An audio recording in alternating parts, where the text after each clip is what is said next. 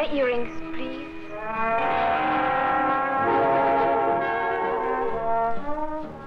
And my necklace, please. What is her strange magnetism that draws men to her? Is she a woman of mystery or a fun-loving, free-living adventuress?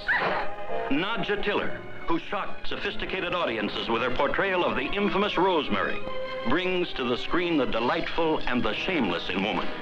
When I was 16, we lived in Frankfurt.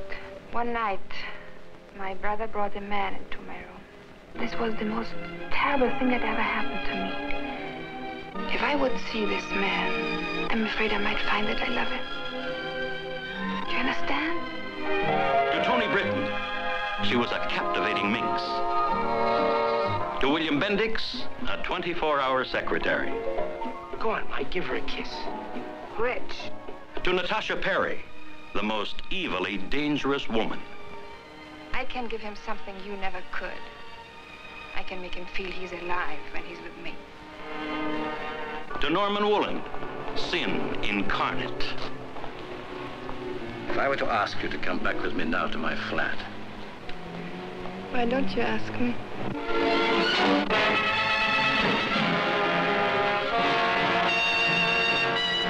You get a kick out of being hurt, don't you? I'm used to being hurt.